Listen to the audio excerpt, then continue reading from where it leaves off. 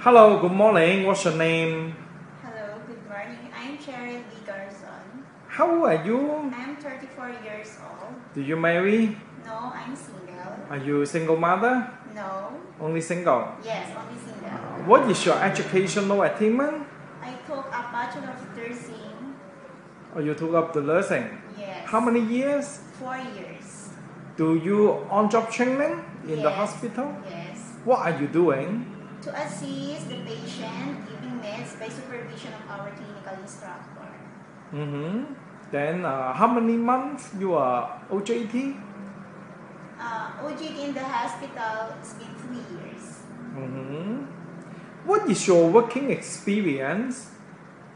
Working, I have a working experience in the Philippines uh, as caregiver of 83 years old ambulatory patient to assist bathing, walking, and giving meds and prepare food. How many years? Three years and nine months. Three years and nine months. Yes. Uh-huh. Do you stay in or stay out? I'm stay out. You stay out. Yes. Mhm. Stay out. Then uh, she is disabled or Yes, she's able to work too, but uh, I can assess because of her balance. mm-hmm. So I assist her when she's walking in the bed, in the bed, uh, bedroom, in the garden. Mm-hmm. Do you change in diapers? Yes, I change Uh, her take the shower. Yes. Then somewhere else your working experience? Um, I'm work as um, nursing assistant. Nursing the assistant. Polyclinic hospital. Mm-hmm. Then somewhere else? No. Do you know what is domestic helper? Yes, domestic helper is to um, to work all the chores in the house to help the needs of the uh, employer and also the children if we have. Do you have the experience take care of the children before?